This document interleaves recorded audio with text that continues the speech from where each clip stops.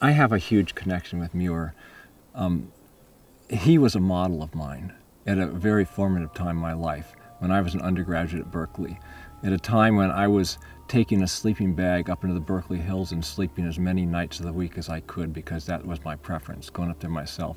Taking uh, Jepson's original Flora of California with me and studying the botany and just keying out plants up there. Here, like Muir, I was a botanist first. Um, he was a model to me as a naturalist. He was a model to me as a scientist. He was a model to me as a conservationist. My whole career has been conservation. And I would say he's really um, a spirit, a very important spiritual aspect that has transcended and, and come through to me. I was reading Muir in those early days because he was what talked to me. John Muir um, was an inspiration to me on a lot of different dimensions. Um, one was as a meticulous naturalist, as a scientist, and as a conservationist, but also as somebody who went alone into the wilderness. I mean, that was where I was headed, especially looking back. That's what was really interesting to me. It's what I wanted to do. And he was sort of the guiding light for me in those early days.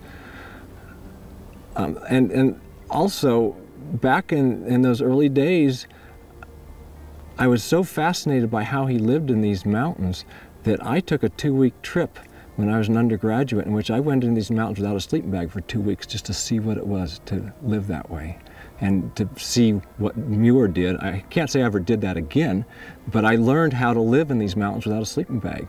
And it's a nice survival skill to have if you ever need it. There is no substitute for spending a lot of time in the field and wearing out boots. It's the only way you're really going to understand an animal like this. The future of this animal is highly dependent on us expanding their geographic distribution.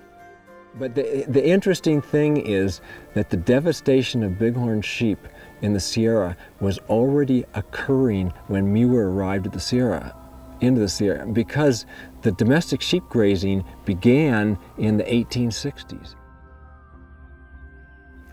John Muir uh, spoke of, of bighorn sheep being safe eh, up in the, the high mountains and and he was very wrong, unfortunately. That's why we have them as a endangered species today. Um, and little did he know that the domestic sheep that he tended in his first year or so in the Sierra were the worst thing for the wild sheep. And it has to do with diseases they got, and that's what devastated our bighorn sheep.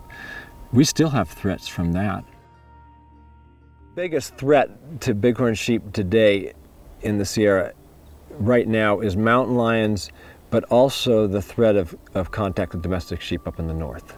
There are still some domestic sheep sufficiently close that we could have contact. And if we get contact, we potentially will have a complete pneumonia epizootic that'll take out a whole population. So that, those are the two threats. And those, by the way, are the two threats that were the reason for endangered listing. We needed the federal government to deal with both of those. I was the one who wrote most of the petition to get this to be an endangered species federally as well as at the state level. And sometimes you just do what you have to do.